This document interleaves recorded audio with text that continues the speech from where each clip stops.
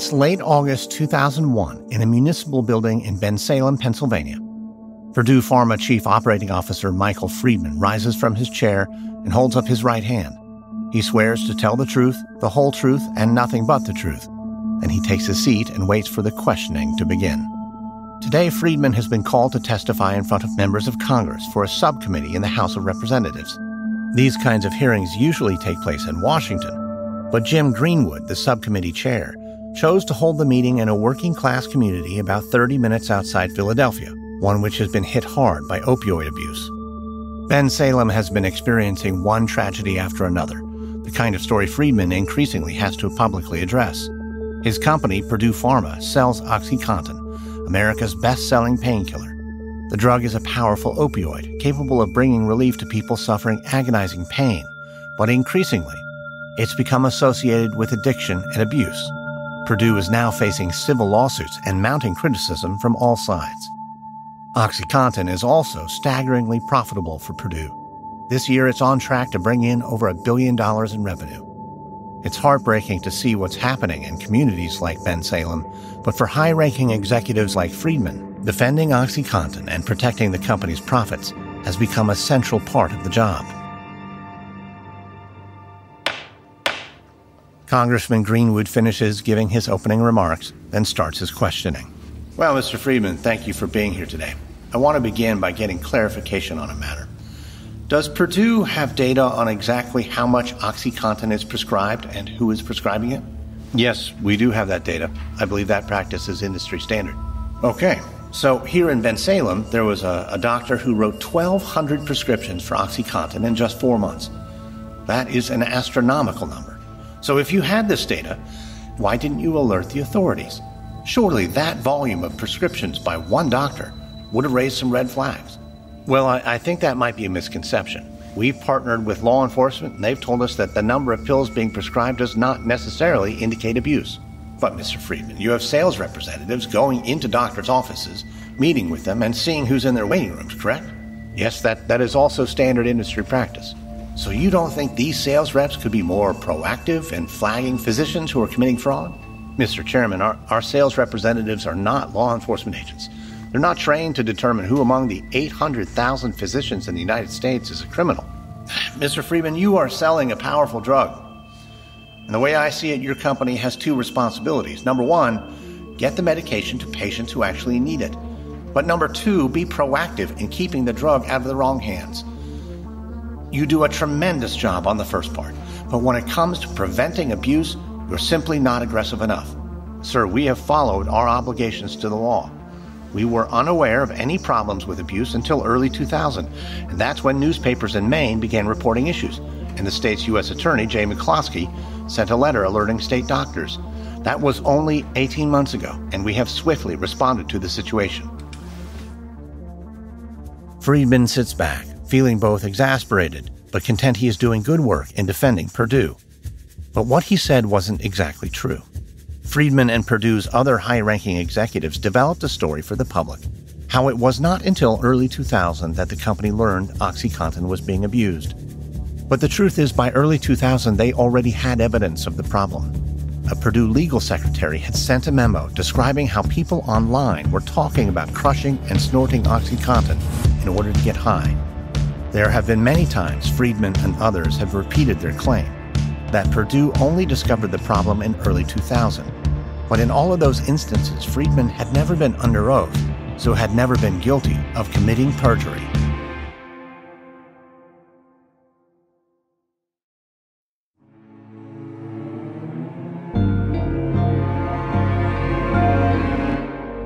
From Wondery, I'm Lindsay Graham, and this is American Scandal.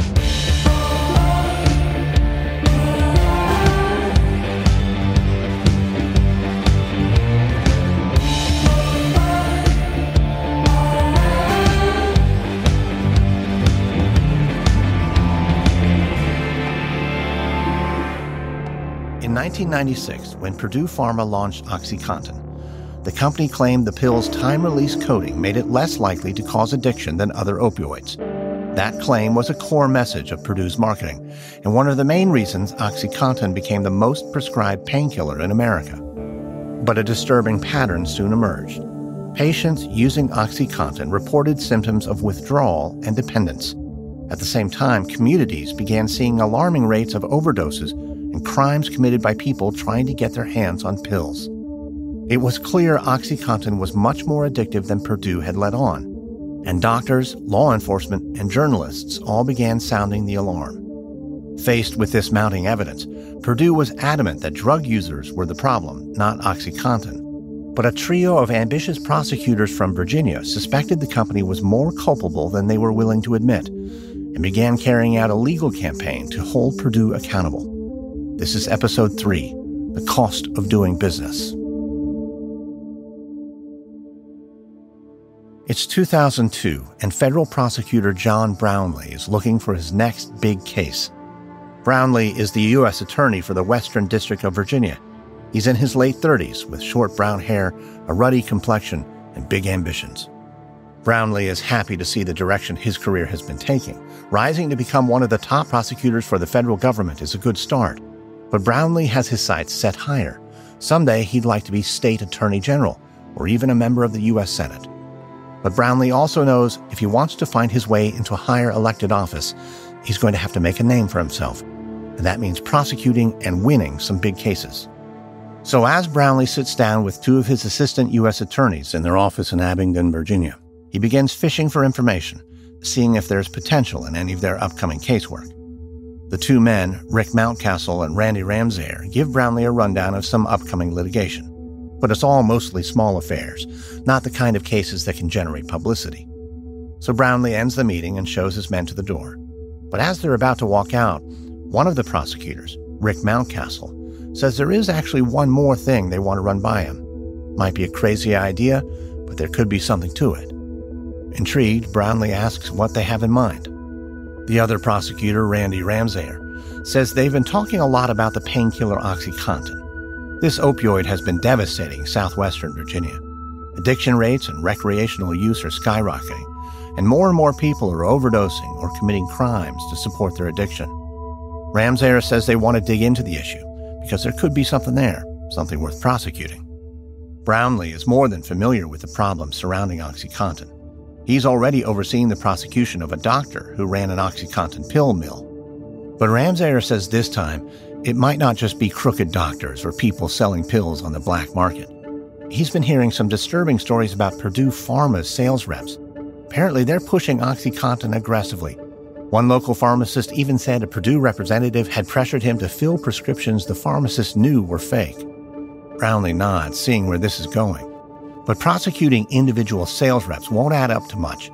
They'd press charges, extract a guilty plea, and then move on to the next one. But if they could go after the employer, Purdue Pharma, they could potentially bring criminal charges against the company, and that could be big. It's rare to prosecute a company as large as Purdue Pharma, but there's also good reason prosecutors hesitate to go after these kind of cases. Big companies have almost unlimited resources to fight charges like these, and they can use their political connections to undermine the prosecution. Brownlee knows that if he takes on Purdue, he would likely be committing to a difficult and protracted legal battle, and the government would need a strong case. So Brownlee asks for more details. He wants to know what the prosecution would be investigating. Mountcastle explains that from what they can tell, these aggressive sales tactics are not the actions of a few rogue agents, but it appears to be part of a business model pushed by Purdue Pharma itself. So the two prosecutors want to see whether Purdue is breaking any laws in the way it markets and sells OxyContin and they want to know whether Purdue was aware their drug was addictive and took steps to conceal the facts. Brownlee is sold. This is exactly the kind of case he's been looking for, because if he pulls it off, he could help a region that's been devastated by addiction, and at the same time, win a victory over companies so large he could help launch the next phase of his career.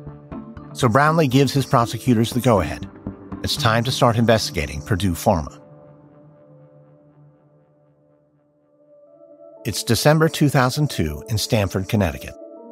In the headquarters of Purdue Pharma, the company's general counsel, Howard Udell, is flipping through his Rolodex, looking to find contact information for one of the most powerful and well connected lawyers in the country. A moment later, he lands on the card he's looking for. Howard Shapiro used to be one of the top attorneys at the FBI. Now he's working in private practice, And if he's willing to work with Purdue, he'd likely be a key member of the legal team, helping the company navigate a developing crisis. Purdue was recently hit with a subpoena from the U.S. Attorney's Office in Western Virginia. Government prosecutors there are demanding the company turn over all its records on the development, marketing, and distribution of OxyContin. As the top attorney for Purdue, Udell is no stranger to litigation. Recently, he's been spending his time defending Purdue against civil lawsuits revolving around OxyContin. One suit after another has accused Purdue of downplaying the risks of addiction and overpromoting their painkiller. These civil lawsuits have certainly been a nuisance, but a subpoena from federal prosecutors is something else, an indication that Purdue could soon be in serious legal jeopardy. So Udell needs some help, and Howard Shapiro is the man to call. Even though he no longer works for the government, he probably still has connections inside the Department of Justice and could do something to help steer the prosecutor's investigation. So Udell grabs his phone and dials. A minute later, he's transferred to Shapiro and begins catching him up on the situation. Udell explains that U.S. Attorney John Brownlee is overseeing an investigation into Purdue Pharma. Udell accuses Brownlee of being nothing more than a publicity hound, noting that he even drives around with a portable lectern in the trunk of his car. Apparently, Brownlee is always ready to give an impromptu press conference. Udell believes this whole investigation is nothing more than Brownlee's attempt to gin up some headlines, a cynical ploy to advance his own career. So Udell wants to hire Shapiro and draw on his connections at the Department of Justice, and he's hoping they can find some way to shut this whole thing down.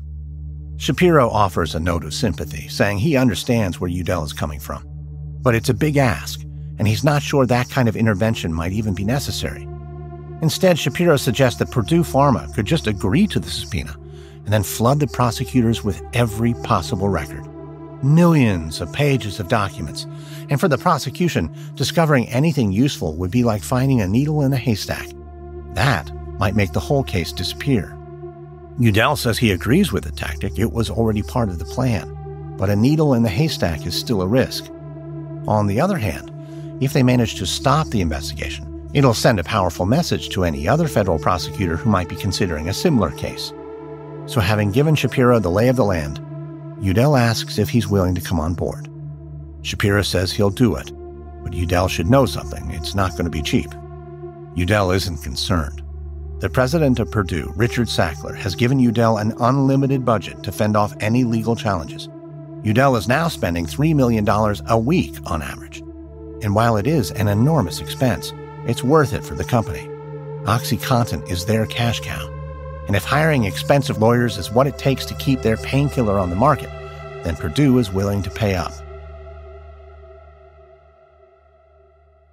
It's 2004 in Washington, D.C., and federal prosecutor John Brownlee is sitting in the headquarters of the U.S. Department of Justice, getting ready to meet with the Deputy Attorney General, James Comey. Brownlee has come here to present the evidence he's gathered so far against Purdue Pharma. He knows his case against the pharmaceutical company is strong, but he also learned that Purdue has been quietly assembling an all star legal team and working to sink his investigation. Purdue has now hired Howard Shapiro, the former general counsel for the FBI, along with Rudy Giuliani, the former mayor of New York City and one of the most popular politicians in America. It appears that Purdue's strategy is to draw on Shapiro and Giuliani's extensive connections in an effort to pressure Comey to drop the investigation. But Brownlee can't let that happen. He and his fellow prosecutors have uncovered internal documents suggesting that almost nothing Purdue claimed about OxyContin was true. There are still holes in what they can prove, but as long as Comey is willing to look at the facts, he should be willing to resist Purdue's lobbying and keep this investigation alive. Brownlee enters Comey's office and then takes a seat. John, thanks for coming in. I hear you're looking into Purdue. Yeah, that's right. We're still in the midst of the investigation, but we've got a strong case. Well, go ahead and tell me. What's the issue with chickens? Uh, chickens, sir. Purdue Farms? Purdue Farms, the poultry company, right? Brownlee raises his eyebrows. Is it possible Comey doesn't know which Purdue he and his team are investigating? If that's the case, it must also mean that he hasn't been paying attention to the calls from Purdue Pharma's well connected defense team. Uh, well, yeah, there, there is a Purdue Farms that sells chickens, but we are looking into Purdue Pharma. They make the painkiller OxyContin. Oh, right, okay. Well, go on. Tell me about it. Well, the first thing you need to know is that Purdue Pharma aggressively marketed OxyContin as safer and less addictive than other opioids. Now, that's not only untrue, but we've also found evidence that the company was well aware that their drug was more addictive than they had publicly claimed. What kind of evidence are we talking about? Well, for one thing, even their own clinical studies showed that about two out of seven patients experienced withdrawal. That's an indication of addiction. Okay, but the FDA approved the medication, right? And its marketing? Presumably they saw these studies and allowed Purdue to make the claims? Well, about that, sir. Last year, the FDA revised much of the language in the drug's package insert. They even put a black box label on OxyContin, the kind of thing that only goes on medications with the most serious side effects. It was basically an admission that they had made a mistake when they first approved the package insert. But I have to say, I'm also not entirely sure it was a mistake. Well, what do you mean by that? Well, I, I think it comes down to this regulator who oversaw Purdue's application for OxyContin. Now, this guy leaves the FDA very shortly after the drug was approved, and a year later, guess where he's working? You're kidding. No. This former FDA regulator goes and takes a job at Purdue, making nearly $400,000 in his first year. Now, we may never be able to prove it, but we believe he made a deal with the company, approve the drug, and in exchange get a very lucrative job. Well, that raises some eyebrows for sure, but it doesn't sound like a smoking gun. No, it doesn't. Not yet. But Purdue sent over millions of documents, obviously trying to bury us. But I'm confident that if you give us enough time, we'll find what we need. Comey drums his fingers together as he thinks. Uh, well, all right, Brownlee. You've got my blessing. Take whatever time you need. Go back to Virginia and finish this up. As Brownlee makes his way out of Comey's office, he takes a moment to celebrate this small victory. Prosecutors often have to navigate intense political pressure when they're taking on a company as rich and powerful as Purdue Pharma. But Comey just demonstrated that at least at this point, the only thing that matters is leading a solid investigation and uncovering whatever crimes Purdue is trying to hide.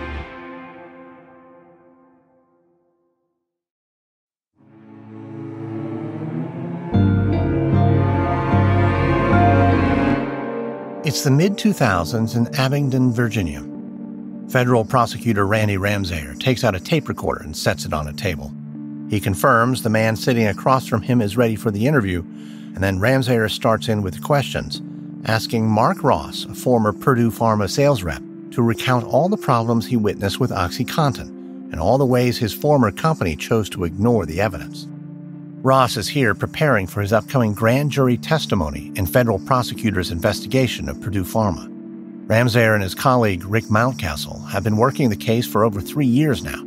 They've read through thousands of documents, amassing an impressive body of evidence showing that Purdue Pharma marketed its popular painkiller with fraudulent claims.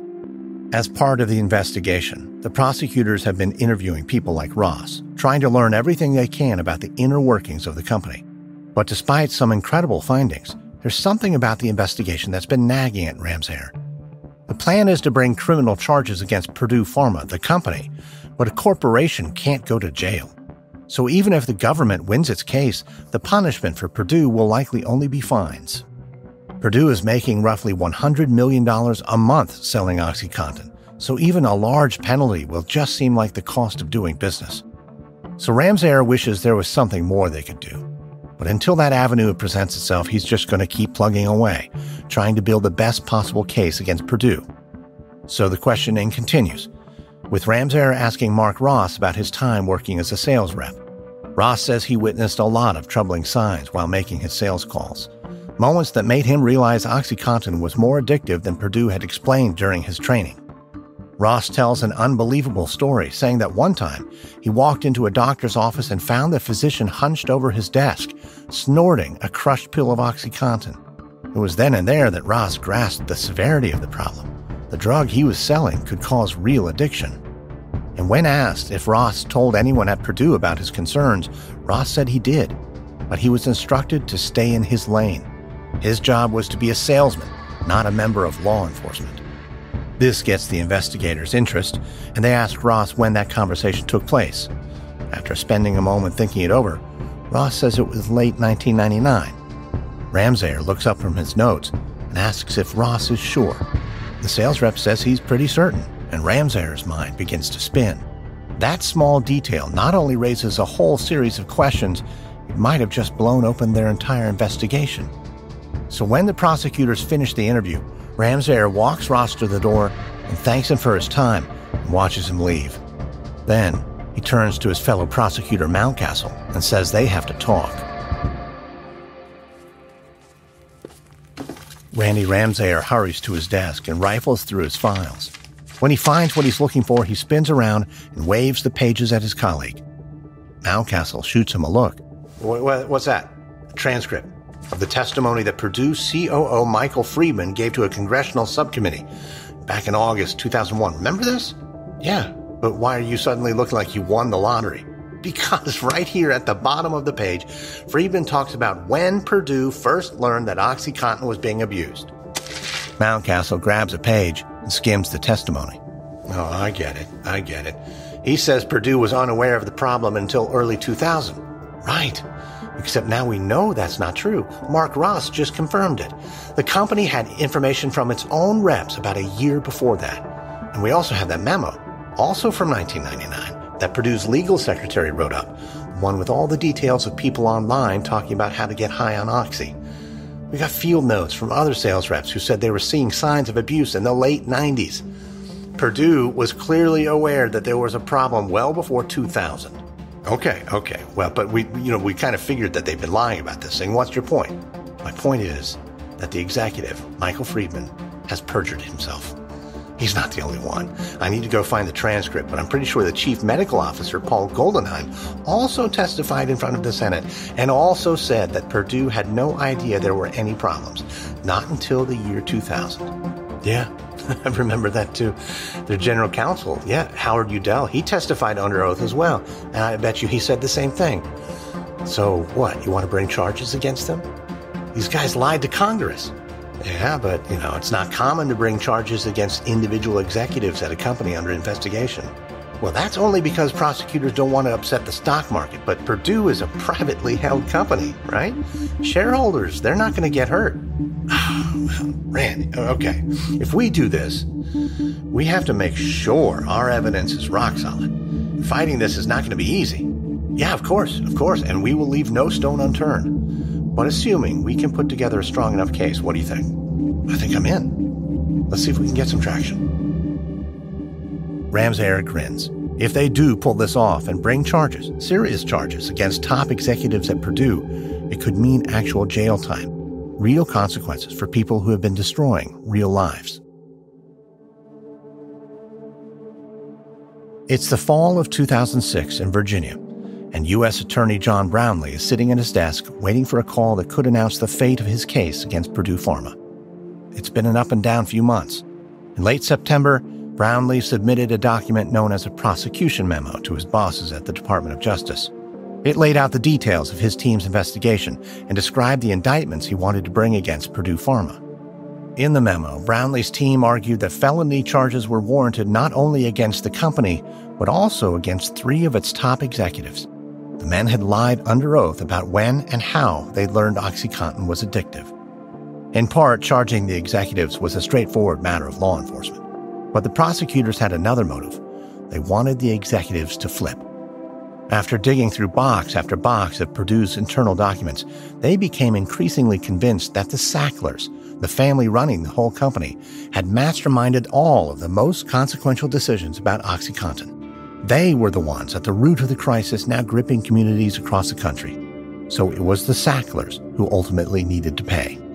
But to go after the family, they would need the cooperation of the company's top executives. And those men would have zero incentives to share anything unless they were facing criminal charges themselves. So the prosecution memo made the case that the executives should be charged with felony crimes, including misbranding, wire fraud, and money laundering. Brownlee sent the memo to his bosses, then began the torturous wait for approval. But something highly unusual happened in the meantime. Brownlee was summoned to the Department of Justice headquarters and told that Purdue's lawyers were coming in to discuss the potential charges, and that Brownlee and his team needed to be at the meeting. Brownlee was set on edge.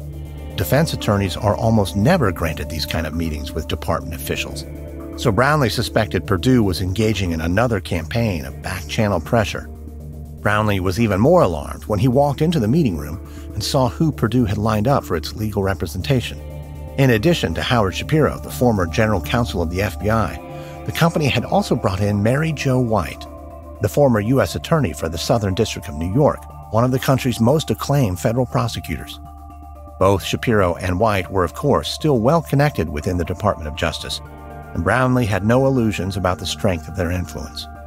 Once the meeting began, the two sides butted heads immediately, with Shapiro and White accusing Brownlee's team of overreach, saying it was inappropriate to file charges against executives, and claiming any overly aggressive marketing of OxyContin was done by a few rogue sales agents, something the executives had known nothing about. Brownlee hopes his team's prosecution memo will speak for itself and counter these claims, showing that Purdue's executives had committed crimes, first orchestrating a false and aggressive marketing campaign for OxyContin, and then taking steps to conceal troubling reports coming in from their reps in the field. Brownlee believes he made a compelling case. He has to believe his bosses at the Department of Justice will uphold the law and not bend to Purdue Pharma's political pressure. So now Brownlee is sitting, waiting in his office, when his phone finally rings. He grabs the receiver and finds a Department of Justice official on the other end of the line. The official announces that they've made a decision. The department will not support felony charges against the executives at Purdue Pharma.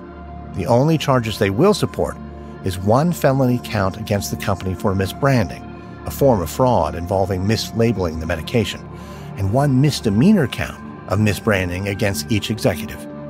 Hearing the news, Brownlee is furious. He can't believe the department is letting Purdue off the hook like this. Even if the company faces a steep fine, they can easily pay it. And without the pressure of felony charges, the three executives won't be motivated to flip.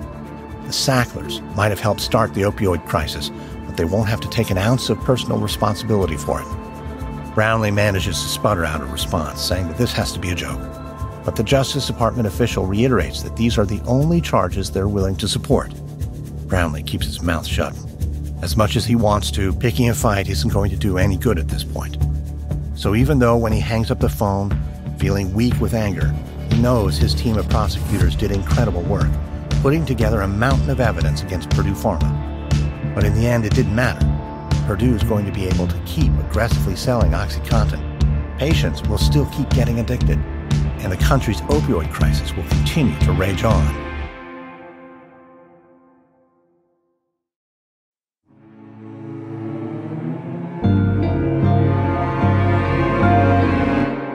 It's the late 2000s in Tennessee. A young man steps inside a large meeting room where people in business suits are sitting side by side in rows of folding metal chairs. The man surveys the room and heads to an open seat, trying not to step on anyone's toes as he shimmies through the aisle. The young man sits down and then nods at the strangers sitting to his left and right. Then he pulls out a spiral notebook and waits for the presentation to begin. In a few minutes, the young man is going to begin the first day of training to become a sales rep for Purdue Pharma. Like all the other trainees in the room, he's going to learn to sell OxyContin, a job that could be lucrative. But the young man has some pressing questions. He's been reading the news, and he's seen some troubling stories about OxyContin. Purdue Pharma was handed a big fine from the government, and three of the company's executives pled guilty to misdemeanor criminal charges. So the young man isn't sure what kind of bearing that might have on his job, but he wants to make sure he's not making a mistake becoming an employee of Purdue. The door to the conference room swings open, and a middle aged man heads to the front. Hey, good afternoon, everyone, and thanks for coming in today. I'm going to be leading this training, and I just want to start out by saying we're all thrilled to have you here. This is a remarkable team. We work hard and if you do the job right, well, let's just say the paycheck isn't bad either. But also, the job is rewarding. We're doing good work here. So we've got a lot to cover. Before I get going, though, I want to check in if anyone has any questions. The young man raises his hand. Yeah, hi. Sorry if this is awkward, but um, I've read about how Purdue had to pay this big fine to the government, like $600 million or something. That's a lot of money. So I just want to make sure is the company going to be okay? Yeah, that business in court was very unfortunate but there's no need to worry. You have any idea how much money Purdue makes in a single year? No? About $2 billion. Yeah, so yeah, to the rest of us hustling for our paychecks, 600 million is kind of a shocker, but no, the company's going to be fine. And look, as long as you do good work, make sure the doctors are taking out their prescription pads, you'll have a job for a long time to come. No worries there. Okay, thanks. But uh, it also makes me wonder if there are going to be any downstream effects on sales. I mean, are you seeing any issues with doctors prescribing? Well, I'm not going to lie. With all the publicity, selling OxyContin is harder now than it used to be. But we can still win people over with our core message. It's a safe drug that can change people's lives. Right. Yeah, sure. Um, but I hate to push back, but the company pled guilty, though, right? I mean, they kind of admitted that they were misleading people about the risk of getting addicted. So is Oxy really that safe? Yeah, here's the thing you need to understand. And it's something doctors are finally starting to come around to. Some people are just born with addictive personalities. It's sad, but it's true. If they weren't addicted to OxyContin, they'd be using something else. And no one's perfect, right? That includes companies, which is why we're about to roll out a new version of the pill, one that can't be abused. It can't be abused? No, not this time. With this new version of OxyContin, you can't crush the pill. You can't snort it or inject it, and that means soon abuse shouldn't be much of an issue. That's going to make our jobs a lot easier, especially if you abide by the golden rule. The trainer writes the letters A, B, and C on a whiteboard. This is how you're going to overcome all the doctors freaked out by the news and all the physicians who are all of a sudden feeling resistant about prescribing OxyContin. This is the golden rule A, B, C. Always be closing, just like that line in the movie. Now, I'm going to teach you how to adopt that mindset, that philosophy. And by the end of the session, everyone here is going to be a pro.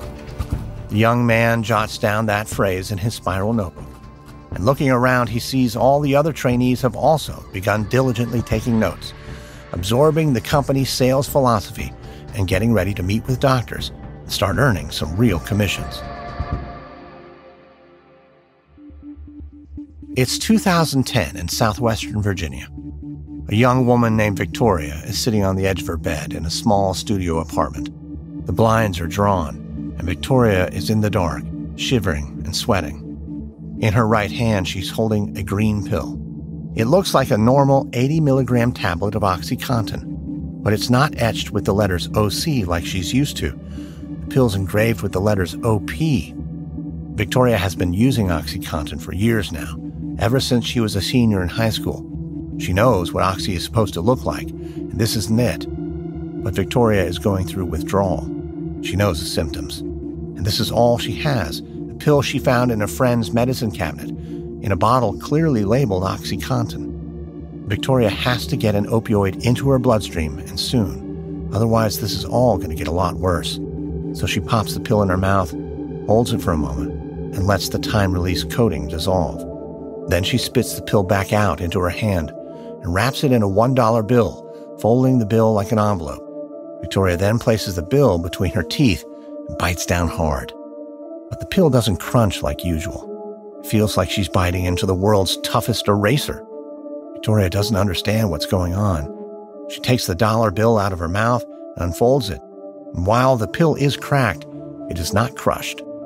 This is a serious problem. She can't use a cracked pill for an injection. She can't snort it, and swallowing would take too long for it to kick in. So she wraps the pill back up and tries again, biting down as hard as she can but the pill just doesn't crush. It just breaks into several pieces. Victoria's head is now pounding, and she feels nauseated. She has to somehow find a way to crush this pill, so she rushes over to the kitchen and opens the bottom drawer, where she finds a hammer. She pulls a book from a shelf and places one of the biggest pieces of the pill on top of it. She swings a hammer, bringing it right down on top of the pill. But it won't crush. The pill feels like a gummy bear. Victoria leans back against the wall, desperate and sick. She needs to get a fix. So she pulls out a phone and calls a dealer. When he answers, she says she needs some oxy, the real stuff, not these pills that say OP on them. But the dealer says he's out. Everyone is. Purdue Pharma pulled the original version, and now the only pills anyone can get are the new ones that can't be crushed. The dealer thinks the idea is that the new pills are supposed to stop people from getting high. Victoria lets out a sob because she feels like she's dying. She doesn't know what she's going to do. The dealer says he has an option, though. He could get her some heroin. Victoria spends a moment considering that. Taking Oxy is one thing. The fact that it was a prescription pill somehow always made it seem safe. Heroin feels different, dangerous, and risky. The kind of street drug Victoria would never use. But Victoria is hit with another wave of nausea. and It feels like she just doesn't have a choice. So she tells the dealer to go ahead and find her some heroin. She'll be there with the cash as soon as she can. From Wondery, this is episode three of Opioids in America for American Scandal. In our next episode, a famous attorney who once battled big tobacco takes on Purdue Pharma. And as the opioid crisis spirals out of control, the Sackler family learns they can't protect themselves forever.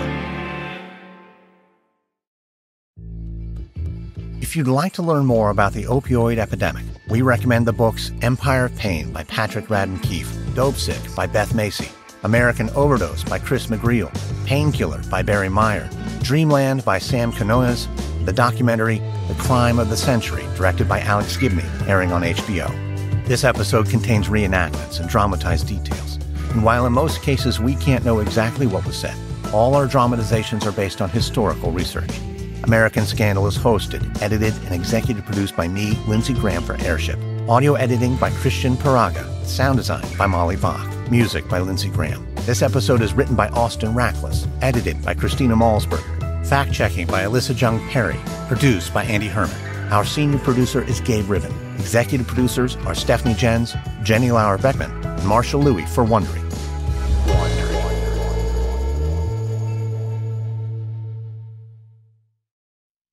Hey, listener.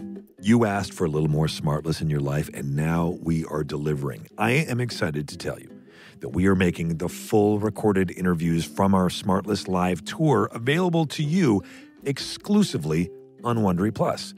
Our first guest you may know is Mugatu, Buddy the Elf, Ricky Bobby, or Ron Burgundy, amongst many other characters. But we know him as America's best friend. He's Will Ferrell, and Will discusses his new life goals, which include referring to money as cheese, and also uh, his commitment to drink at least 50 liters of water a day.